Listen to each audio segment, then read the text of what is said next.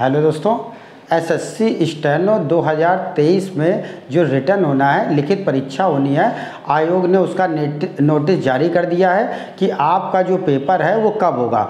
उन्होंने दो डेट दे दी गई है 12 अक्टूबर और 13 अक्टूबर, को आप लोगों का सबका रिटर्न होगा, ठीक है? तो जो अटकलें लगाई जा रही थी कि हो सकता है पैटर्न चेंज किया जाए तो पैटर्न रिटर्न अब कुछ नहीं होगा, क्योंकि जब उन्होंने डेट ही दे दी है तो जो आ रहा था, वही आएगा। देखिए, आता क्या क्या था? सौ नंबर की इंग्लिश पचास नंबर की जीएस और पचास नंबर की रीजनिंग तो ये 200 नंबर का आप लोगों का क्वेश्चन आते हैं तो इस इस तरीके से आपको करना है, ठीक है? पाँच महीने हैं अभी आप लोगों के पास, जितना ज़्यादा आप अच्छे से प्रैक्टिस करेंगे, उसी का होना है। अब रिटर्न के साथ साथ आप लोग थोड़ा सा स्टेनो को भी साथ में लेकर के चलें, क्योंकि अभी टाइम तो ज़्यादा उन्होंने दिया नहीं था तो तीन महीने में आपको करा दिया गया था। तो आप लोग स्टेनो के साथ साथ रिटर्न के साथ साथ आप लोग स्टेनो को भी लेकर के चलिए। ओवरऑल सभी चीज़ों का एक टाइम टेबल सेट करिए कि रिटर्न में आपको थोड़ा सा ज़्यादा टाइम देना है। अभी स्टेनो में थोड़ा सा कम टाइम दे सकते हैं, लेकिन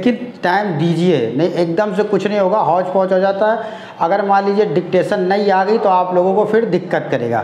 इसीलिए अभी से अच्छे से लग जाइए। अभी आप लोगों के पास टाइम है और कोशिश करिए ज़्यादा से ज़्यादा नंबर गेन करने की। हो सक 140 50 मतलब कि थोड़ा सा प्लस नंबर लाइए, क्योंकि दिन ब दिन मेरिट बढ़ेगी ही बढ़ेगी।